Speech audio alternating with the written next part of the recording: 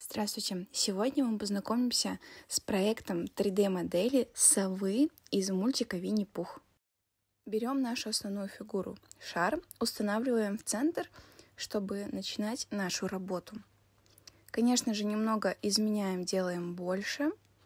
И обязательно прокручиваем с помощью черепашки с разных сторон, чтобы все было четко, красиво и лаконично.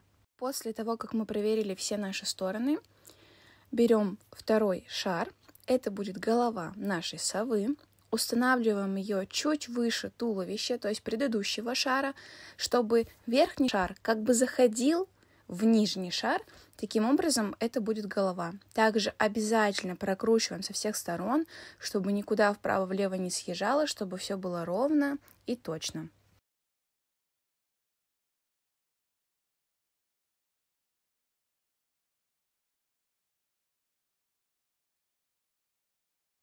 Следующая фигура – это конус. Конус – это лапки нашей совы. Мы их немного сплющиваем, уменьшаем в размере, чтобы были меньше нашей головы и туловища. Переворачиваем до горизонтального состояния. Также уменьшаем, то есть в горизонтальном состоянии немного видно лучше – уже конкретно подносим к нашей сове и разворачиваем немножко влево и немножко вправо, чтобы лапки у нас были не прямо по, по центру, а немножко правее, немножко левее.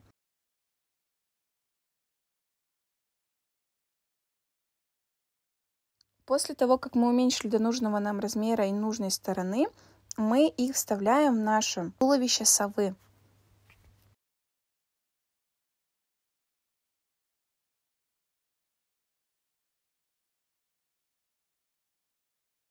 Помощью инструмента муравей мы копируем предыдущую лапку. У нас получается точно такая же, только в этот раз мы должны изменить направление лапки. Как я уже говорила до этого, лапку повернуть немножко правее. И точно так же вставить ее в туловище нашей совы.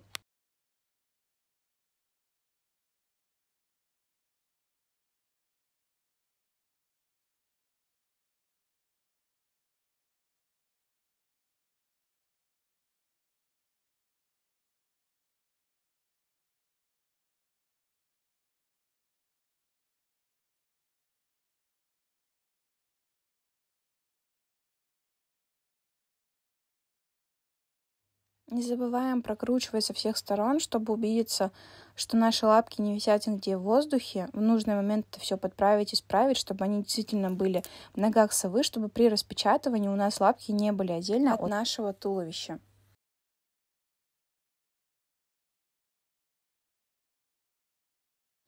После того, как мы убедились, что все стоит на наших местах, мы выделяем лапки, включаем инструмент хамелеон и придаем нашим лапкам черный цвет. А нас ждет следующая фигура, это полушар. Полушар это будет наше одно крыло. Для этого мы немножко сплющиваем его, делая под форму такого крыла, то есть немножко такая она у нас полукруглая будет. И устанавливаем на туловище к нашей сове, также, чтобы она немножко выпирала, но при этом не была далеко от нашего туловища. С помощью инструмента хамелеон также делаем наше крылышко черного цвета и разворачиваем в нужную нам сторону.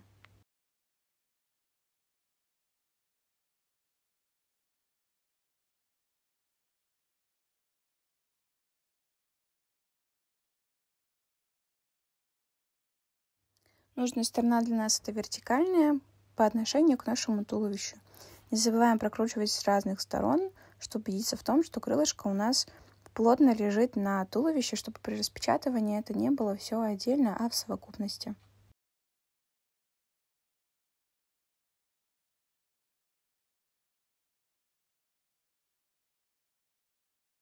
Также с помощью инструмента хамелеон мы окрашиваем наше туловище и голову, выделяя эти два элемента розовым цветом. Следующее это снова конус, но на этот раз мы будем делать не лапки, а крыло нашей сове, которое будет как бы приветствовать наших друзей в нашем проекте. Для этого мы, как и с лапкой, тоже приплющиваем немножко наш конус, сразу подносим к сове и переворачиваем, чтобы наша, наш конус был немножко перевернут. То есть третья вершина, она была немножко в сове находилась, чтобы, опять же таки, наша фигура при распечатывании не распалась. Таким образом создается эффект немножко такого открытого крыла. Также с помощью инструмента хамелеон мы окрашиваем в розовый цвет. А с помощью черепашки мы прокручиваем нашу модель и смотрим, чтобы все наши элементы плотно лежали. Далее это полушар. Полушар нам нужен для того, чтобы мы сделали глаза нашей сове. Мы разворачиваем нужную нам сторону, то есть выпуклой стороной на нас, уменьшаем, делаем немножко приплюснутый такой, то есть вытянутый с двух сторон. Таким образом у нас получаются такие зрачки нашей сове. После того, как мы перевели в нужное нам состояние наше полушар, мы подносим к голове нашей сове и устанавливаем на места глаз.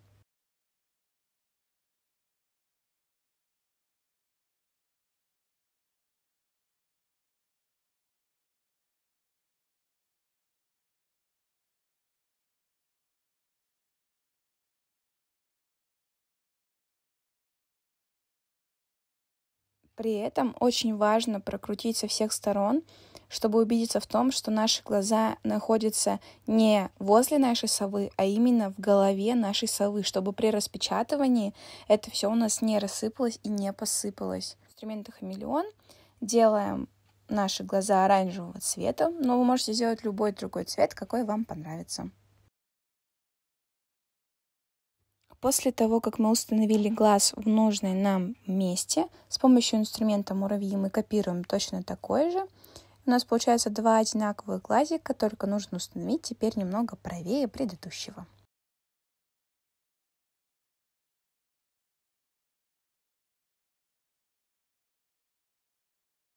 Ну а чтобы наша сова смогла видеть наших друзей, мы сделаем ей зрачки черного цвета. Для этого мы скопируем с помощью инструмента муравей точно такой же зрачок, с помощью хамелеона придадим его черный цвет и уменьшим до размера меньше, чем наш зрачок был, то есть чтобы он был как маленькая точка, и установим посерединке нашего зрачка.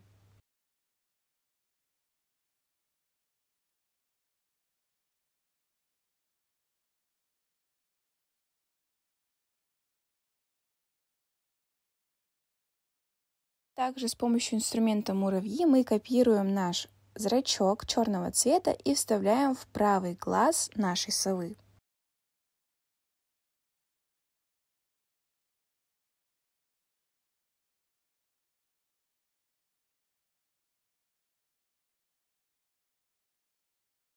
Не забываем прокручивать с помощью инструмента черепашка с разных сторон, чтобы убедиться, что наш зрачок стоит в нужном месте.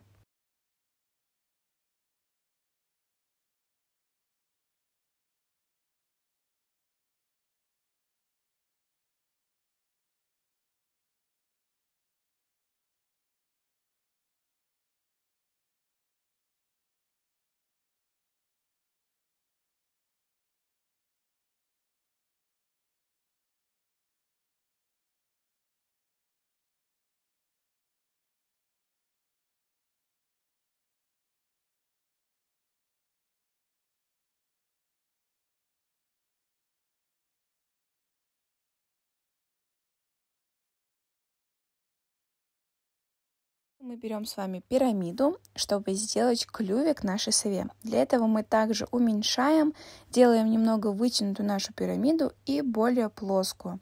Разворачиваем острием на нас, с помощью хамелеона делаем черным цветом и подносим к голове нашей совы, чтобы клювик был между нашими глазами чуть пониже.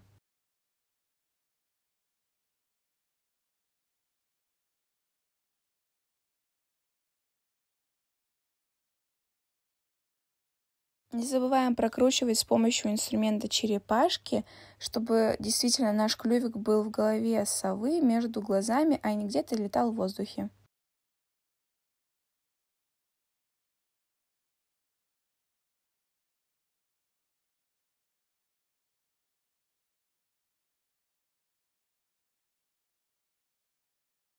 Чего-то явно не хватает нашей сове. Правильно, головного убора. Как же она будет ходить без этого? Для этого мы берем с вами тор, уменьшаем до размера головы, делаем чуть-чуть побольше. Все-таки головной убор у нас должен сидеть на голове. Уменьшаем тор, делаем его немножко приплющенным, подносим к голове на примерку нашей сове и устанавливаем его немного под наклоном, чуть пониже.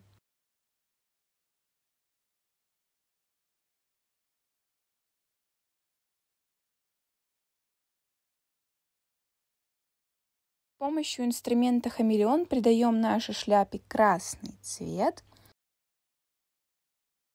Но это еще не готовая шляпа. Для ее завершения нам необходима фигура полушар, которую мы разворачиваем горизонтально.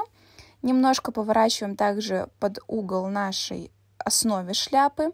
Также делаем его красного цвета с помощью инструмента хамелеон, который нам уже знаком. Устанавливаем под тем же углом на голову нашей сове вместе с Тором.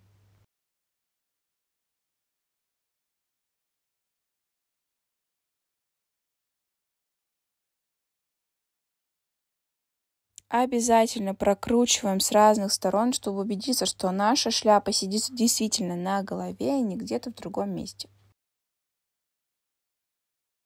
И завершающий штрих – это коготки нашей сове. Для этого мы берем такую фигуру, как капсула, разворачиваем нам в нужную сторону, сразу немного правее, уменьшаем до самого маленького размера, примерно как зрачки у нас были, и подносим также к нашей сове.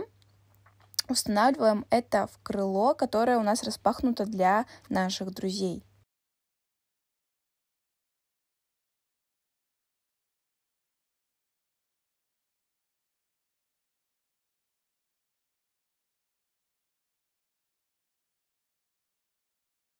Помощью инструмента черепаха прокручиваем с разных сторон и вставляем именно коготок в лапу, которая распахнута для гостей, чтобы она у нас была именно внутри, а не где-то снаружи, чтобы при распечатывании это все не распалось.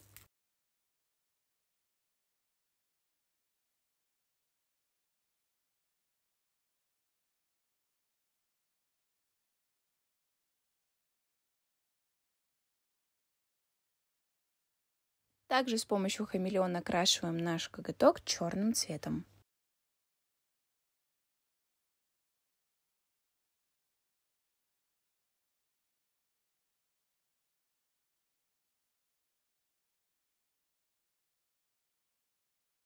С помощью инструмента муравей мы делаем то же самое, только сейчас нам нужно установить наши коготки в ряд, только с каждым рядом уменьшается, то есть самый высокий пониже и еще ниже. И устанавливаем точно так в лапу, которая приветствует наших гостей.